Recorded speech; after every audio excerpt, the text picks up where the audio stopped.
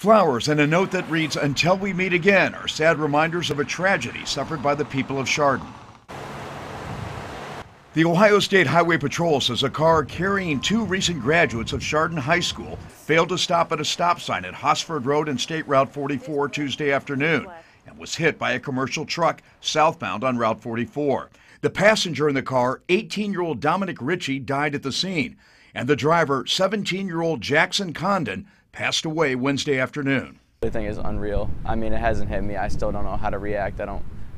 It's just hard just like to see everyone like this and it really shouldn't have happened, and it's just tough.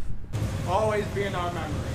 Members of the Chardon community gathered Tuesday night for a candlelight vigil to pay tribute to Dominic Ritchie and Jackson Condon. Classmates say the two close friends were school leaders by virtue of their character. Beautiful people, like the best kind of people you could ask for, and always make your day, always there for you. So I just thank them for, for everything that they influenced me on and all the memories that I have with them. If you need help, like you could just call up Dom and he would be there. If you need advice or anything, you can call up Jackson and he would be there.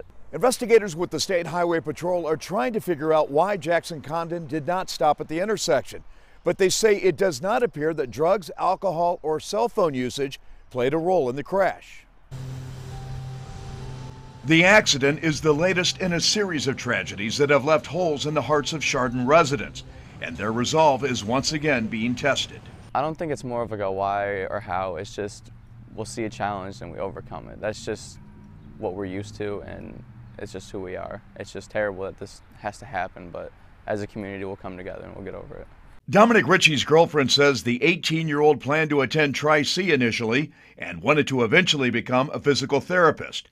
Classmates say the loss of life at such a young age is a powerful message about how fragile and fleeting life can be. Appreciate everything. Don't take anything for granted. As, as corny as that sounds, it's really true because you don't know like when everything could end or who you, your friends, close friends, could come to an end. Just appreciate it. Jack Shea, Fox 8 News in Chardon.